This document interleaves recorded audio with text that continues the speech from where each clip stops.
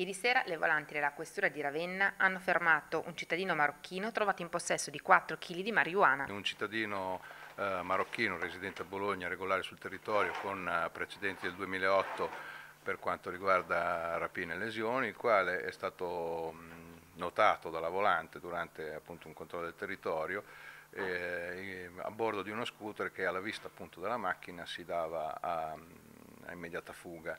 Eh, piccolo inseguimento che si è interrotto nel momento in cui questo si disfa di questa borsa eh, di colore azzurro con i motivi floreali verdi, eh, con all'interno 4 kg di marijuana.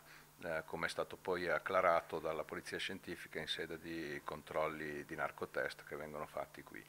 E, mh, questo cittadino ovviamente è stato poi rintracciato nei pressi della sua abitazione qui in centro cittadino e, e, al quale è stata fatta una perquisizione eh, personale e, e, locale che ha dato esito positivo. E, e quindi insomma, adesso la squadra mobile è, sta continuando le indagini per vedere appunto la provenienza del di, di, questa sostanza stupefacente, eventualmente i complici di, di, questo signore per eh, lo spaccio in città. Eh, il tutto ovviamente è stato, mh, viene coordinato dalla Procura della Repubblica di Ravenna. Sara Pietracci per Ravenna Web TV.